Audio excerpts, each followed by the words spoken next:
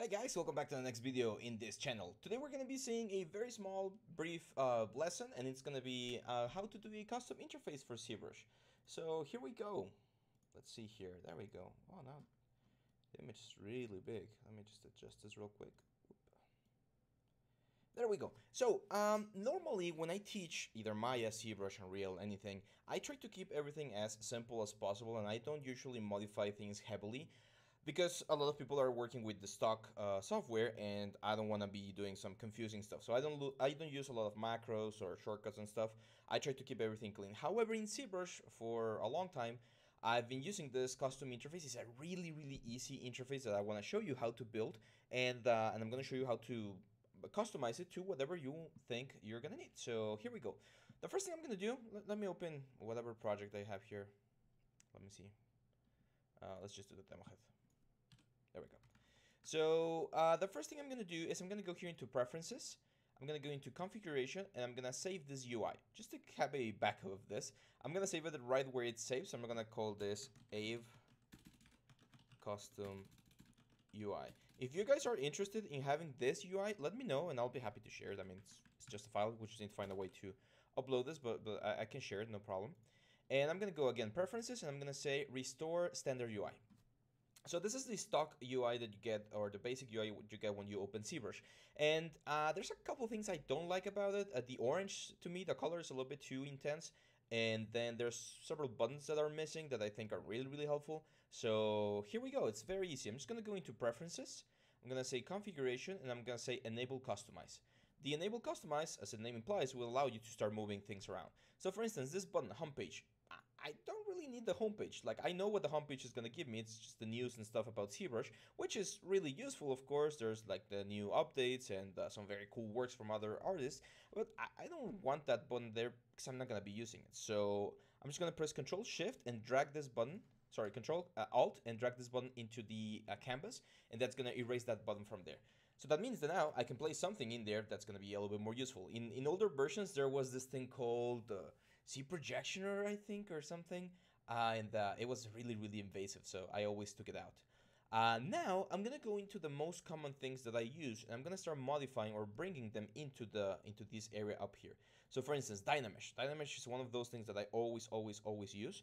So I'm gonna go here into Dynamesh and I'm just gonna press Control Alt and drag and drop the Dynamesh button like there, for instance. I can also drag like this resolution slider. So there we go. So I can dynamically change the resolution up here without having to go into Dynamesh.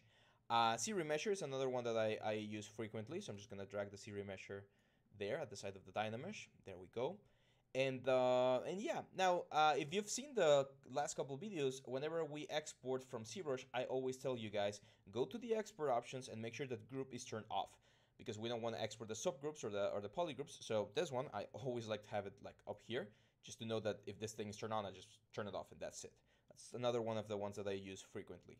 Uh, another one, I don't think I have it in my current one, but I've been using it quite often is here in the geometry on the modify topology, the mirror and weld. So as you can see, this one's a little bit longer, so I'm going to try and find a nice place for it. Like, for instance, there. I, I like to keep things uh, nicely organized, so there we go. Delete hidden is one that I definitely, definitely use, so I'm going to leave it right there. Um, let's see if we're, there's another one that we use normally. I'm trying to think. Under the formation tab, sometimes the mirror function comes into place. I'm just going to leave it there. It's useful to have it. And again, you're free to customize this however you want. You can add as many as many things as you want. And I believe if you were to add something that's like really big like this, you can actually like add another space here. Like it will make it bigger. So, so it will allow you to get more stuff in there. I don't like to clutter my workspace as much. I just use whatever is the most uh, important things there. Now, uh, there's a couple of other things that I like to have. For instance, on the light options, I like to have this light uh, sphere right here because I can change the light and, and see how my model looks.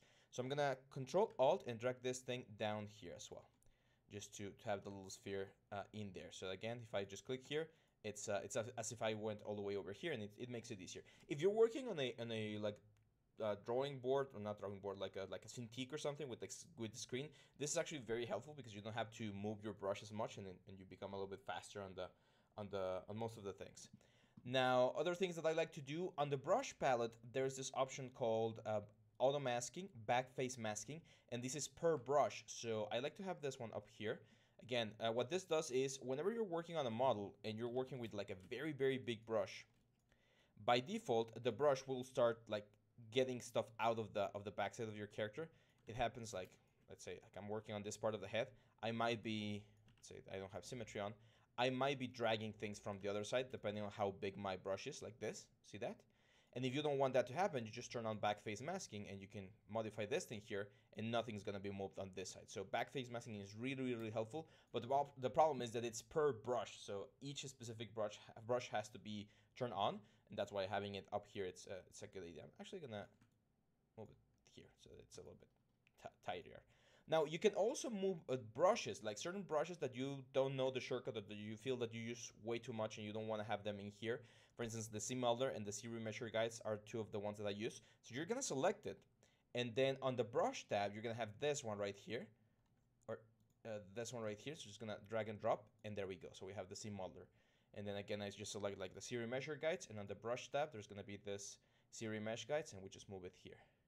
And again, if I just press it, it's like selecting the brush. So I know a lot of people that have all of the brushes here. I think you can also drag and drop from here. No, I think you need to go here. I don't usually like having my brushes. I know there are some artists that have their like all of their brushes down here, like the clay and the clay buildup. I I, I prefer using shortcuts for those, uh, but just it's it's a nice uh, way to do it. Color, fill object is one of the other ones that I use. I'm gonna go here, fill object. Uh, that one I use to fill with the, either a material or a color. So that's one of the of the main things that I do. And uh, I think that's it. I think those are the main the main things that I normally use for my for my setup here. Uh, now for the colors, that's super simple to change. Up here in the on the custom, not the custom, yeah, on the Icolors, you're just gonna change the switches, the switch one, switch two, uh, slider knob one and slider knob two. And one quick way to do it, just click and drag to your color wheel, pick your favorite color. I like uh, my favorite color is green. Uh, next to it, but but on on ZBrush I like the the blue. So we're gonna go right here. Then you can also like select the blues here and you're gonna get more gradients. So I'm gonna go get preferences, switch one. Let's go for like a little bit of a, duller blue, not as saturated. And then what I do is I just sample the exact same color there. There we go. So now as you can see, my whole uh, my whole UI is uh, is properly set up. So now you're gonna go into preferences, you're gonna say config, and you're gonna disable enable customize, and you're gonna save this UI. So I'm gonna save this as custom UI. Let's call this version 2, which is the one I'm gonna be using now. There we go. And you wanna make sure that you uh, store the configuration right here, store config. So by doing store config, what's gonna happen is every time you open ZBrush, this is gonna be the basic thing because otherwise you're gonna go back to the standard UI and you might get some things that are not what you're looking for. So by saving this the store config, now everything is there. A couple of extra things about uh, customization here. On the preference panel, you have the undo history, which is really important. As you can see, 10,000 max undo is, is fine. It will depend on your memory, of course. If you feel like your ZBrush is getting a little bit too slow, you might want to like change this. Um, quick save, you want to say how how much or how many, uh, how often you want the quick save to work. Usually after uh, ZBrush is resting or just like there for a minute, I'll get an auto save. But you can see that this can quickly give you like a lot of files here. Like look at how many files we have here. And this could definitely hit your memory. So if you want to change that, you can change the maximum uh, maximum duration and and the and the restoration. This is if you're working every 20 minutes, it will try to do an autosave, which I think is fine. Uh, and then if you if you're sure that you have everything that you need, then you don't need to save anything anymore. Just go into into uh, their preferences again and delete the quick save files. I strongly advise you do that frequently, especially if you don't have a lot of uh, space on your computer because they can take quite a bit of space. Uh, screensaver, I don't like the screen. I mean, I like the screensaver, but it's way too little of a time. So I'm gonna change this to, uh, let's say five minutes, so 360. And I'm just gonna say again config and just uh, start config and say okay. So now uh, everything should be working. And that's it. I think that's that's pretty much it. Those are the, the main things about like customiz customizing ZBrush. Again, it's not necessary. It is a nice little uh, extra that you can do. So feel free to do it. If you want, let me know if any one of you guys know how to share the file to everyone on, on the YouTube channel.